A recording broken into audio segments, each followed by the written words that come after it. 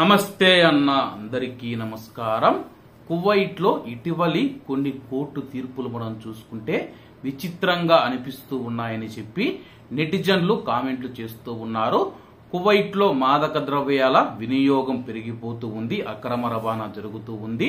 వాటి గురించి ఏదైనా సమాచారం అందించమని చెప్పేసి మాదక ద్రవ్యాల నియంత్రణ విభాగం అయితే కువైట్లో ఉన్న ప్రజలను కోరడం జరిగింది. అలాగే ఇందులో భాగంగానే ఒక తండ్రి మనం చూసుకుంటే తన యొక్క కొడుకు మీద అనుమానం రావడం జరిగింది. అతని యొక్క ప్రవర్తన పైన అనుమానం రావడంతో అతను ఏం చేస్తూ ఉన్నాడని చెప్పి చాలా రోజుల నుంచి గమనించడం జరిగింది.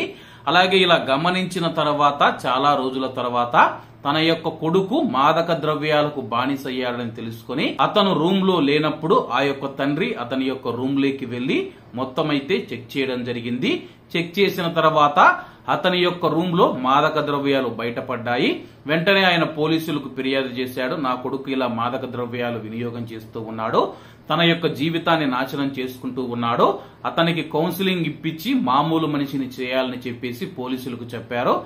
అలాగే పోలీసులు వచ్చి అతన్ని అదుపులోకి తీసుకోవడం జరిగింది. ఆ తర్వాత ఈ యొక్క కేసు కోర్టు దగ్గరికి వెళ్ళడం జరిగింది. తాజాగా విచారించిన కోర్టు విచిత్రమైన తీర్పునిచ్చింది. వివరాల్లోకి వెళితే కోర్ట్ ఆఫ్ కాజేషన్ తండ్రి తన కొడుకు వ్యక్తిగత గదిలోకి ప్రవేశించి అతని అనుమతి లేకుండా వెతకడం అనుమతించబడదని చెప్పేసి ఎవరైతే తండ్రి ఉన్నాడో కొడుకు అనుమతి లేకుండా రూమ్ లేకి ప్రవేశించాడని చెప్పి తన యొక్క వ్యక్తిగత రూమ్ అని చెప్పేసి ఆ యొక్క రూమ్ లేకి ప్రవేశించడం అనుమతించబడదు.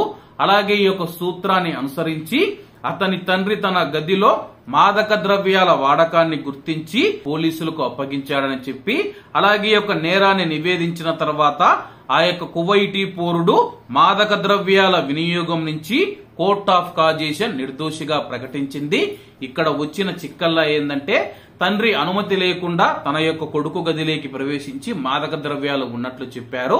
కానీ కోర్టు అది ఏదైనా కక్షపూరితంగా తండ్రే ఇలా చేసి ఉంటాడని చెప్పి కూడా భావించింది కాబట్టి అనుమతి లేకుండా ప్రవేశించినందుకు అతడు మాదక ద్రవ్యాలు వాడినా సరే అతన్ని నిర్దోషిగా ప్రకటించినట్లు తెలిపింది. ప్రస్తుతం దీనికి సంబంధించిన న్యూస్ కువైట్ సోషల్ మీడియాలో కువైట్ ప్రజలు చర్చించుకుంటూ ఉన్నారు. కాబట్టి అందరూ బాగుండాలి ఎందులో మనం ఉండాలి. అందరికీ నమస్తే అన్న.